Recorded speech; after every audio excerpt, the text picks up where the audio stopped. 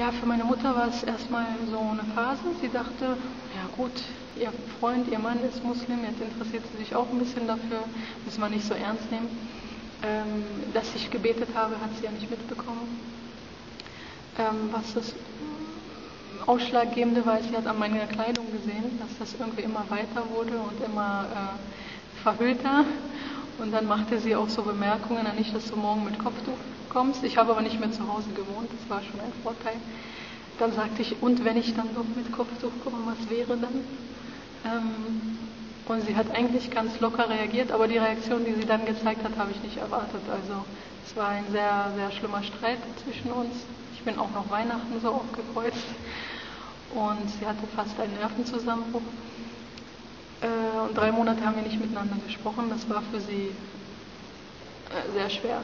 Aber jetzt ist das schon in Ordnung. Das ist jetzt eine Weile her schon. Über zehn Jahre. Und jetzt sucht sie mir schon Tücher aus.